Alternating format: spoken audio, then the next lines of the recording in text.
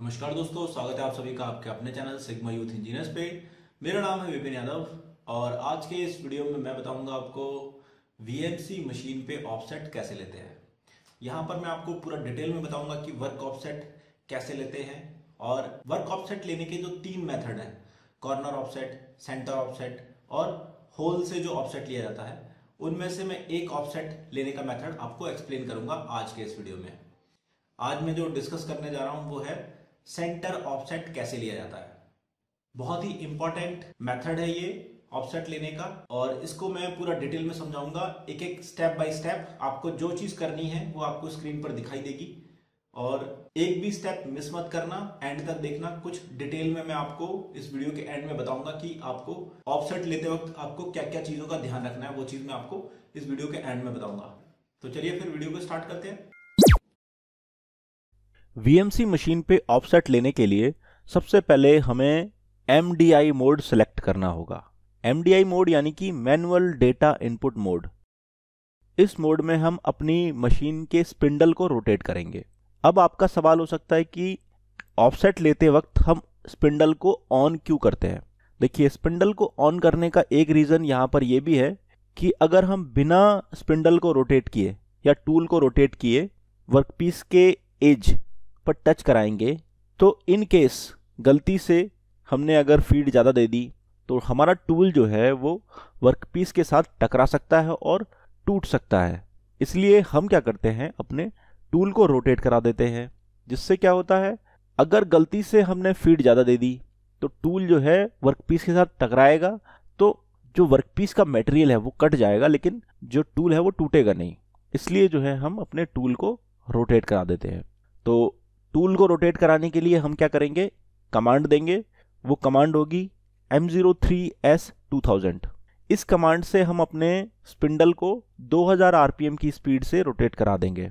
जब हमारा spindle 2000 RPM की स्पीड से रोटेट करना स्टार्ट कर देगा, तब हम हैंडल मोड सेलेक्ट करके अपने टूल को वर्कपीस की एक्स एक्सेस वाली साइड पर ले जाएँगे। आप देख सकते हो स्क्रीन पर हमारा टूल जो है एक्स एक्सेस की तरफ़ जा रहा है और धीरे धीरे हम इसको टच करा देंगे। जैसे ही हमारा वर्कपीस जो है टूल के साथ टच कर जाएगा, हम इस पोजीशन पर अपने टूल को होल्ड कर देंगे। मतलब कि यहीं पर खड़ा रखेंगे और अपने कंट्रोल पैनल की स्क्रीन पर चलेंगे। तो कंट्रोल पैनल की स्क्रीन आप देख लीजिए यहाँ पर। अब हमको क्या करना है? यहाँ पर रेफरेंस करना है। मतलब इस पोजीशन को रेफरेंस करना है।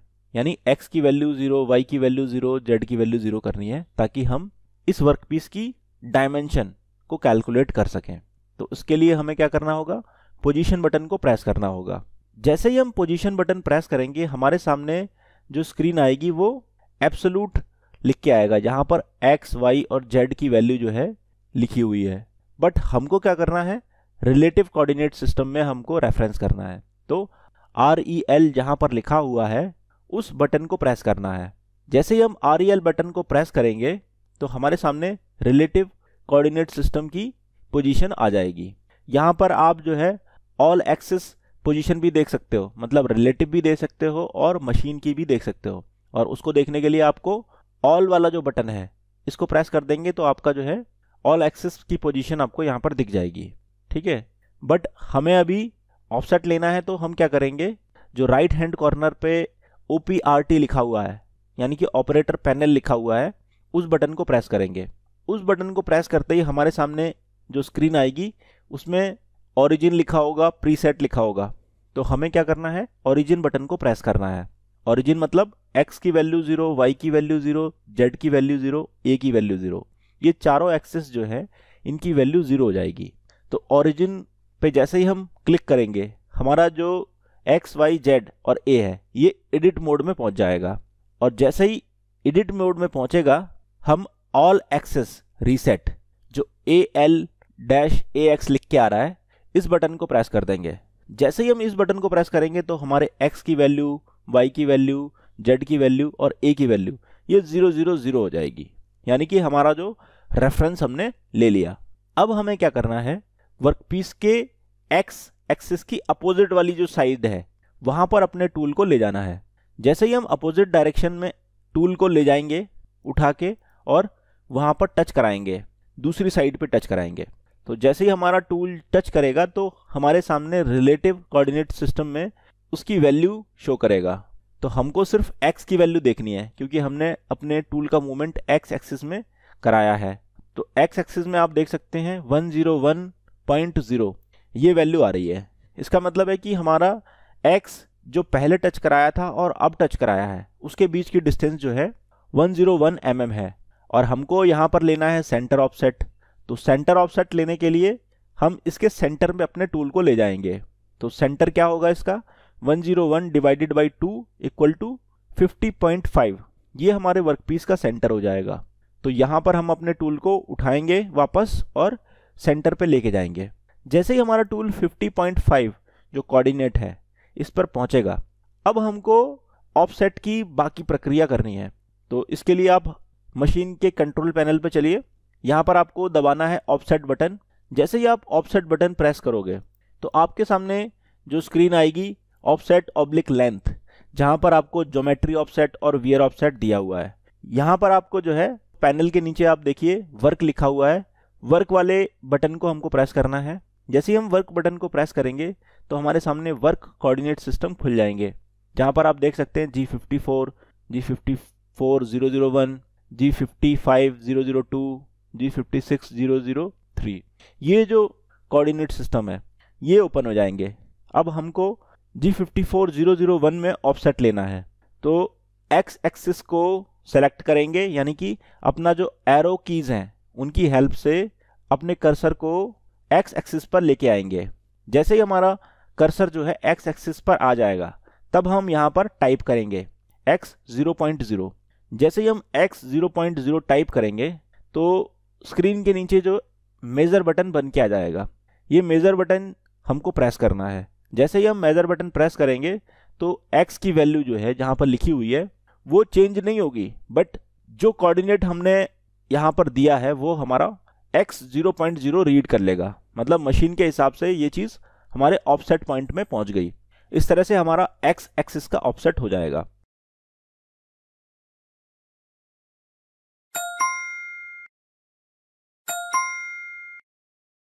अब हमें क्या करना है? वाई एक्सिस में ऑफसेट लेना है। तो यही प्रोसीजर हमको दोबारा से रिपीट करना है। इस प्रोसीजर को रिपीट करने के लिए हमें क्या करना होगा? अपने टूल को हैंडल मोड में सेलेक्ट करना है और वाई एक्सिस की तरफ़ लेके जाना है। वाई एक्सिस में हम पहले टच कराएँगे। जैसे ही हमारा टूल जो है वर्कपीस के साइड से टच हो जाएगा तो हम क्या करेंगे? पोजीशन बटन को प्रेस करेंगे और वहाँ पर रेफरेंस करेंगे। रेफरेंस करने के लिए रिलेटिव कोऑर्डिनेट सिस्टम प्रेस करेंगे। फिर ऑपरेटर पैनल में जाएँगे। ऑपरेटर पैनल में जाते ही हम ओरिजिन बटन को प्रेस करेंगे और और ओरिजिन बटन को प्रेस करने के बाद हम ऑल एक्सेस रीसेट कर देंगे। इससे हमारी ऑल एक्सेस रीसेट हो जाएँगी, यानी कि एक्स की वैल्यू वाई की वैल्यू जेड की वैल्यू ए की वैल्यू ज़ीरो हो जाएगी। अब हमें सिर्फ़ वाई एक्सेस में अपने टूल का मूवमेंट कराना है। तो वाई एक्सेस में अपने टूल को लेके जाएँगे दूसरी साइड और वहाँ पर टच कराएँगे और वर्कपीस की जो लेंथ है वाई एक्सेस में वो मेजर कर लेंगे। यहाँ पर मेजर होके आ रही है? 70 एम mm आ रही है। तो 70 एम mm का हाफ़ जो रहेगा वैल्यू उस पर हम अपने टूल को लेके जाएँगे। तो 70 का हाफ़ 35 तो 35 एम mm पे हम अपने टूल को लेके जाएँगे और वहाँ पर अपने टूल को खड़ा करेंगे। उसके बाद हम कंट्रोल पैनल पे चलेंगे। कंट्रोल पैनल पे हम लगाएँगे ऑफसेट बटन प्रेस करेंगे। ऑफसेट बटन को प्रेस करने के बाद हमारे सामने जो स्क्रीन आएगी, उसमें हम वर्क कोऑर्डिनेट सिस्टम को प्रेस करेंगे। वर्क कोऑर्डिनेट सिस्टम को प्रेस करने के बाद हम G fifty four zero zero one में वाई एक्सिस को सेलेक्ट करेंगे और वहाँ पर एरो की की हेल्प से अपने कर्सर को लेके जाएँगे और फिर Y zero point zero type करेंगे और पैनल पे लगे हुए मेज़र बटन को प्रेस करेंगे। जैसे ही हम मेज़र बटन को प्रेस करेंगे तो हमारा जो है वाई एक्सिस का ऑफसेट है वो हो जाएगा। तो इस तरह से हमारा एक्स और वाई एक्सिस का ऑफसेट जो है हमने कर दिया।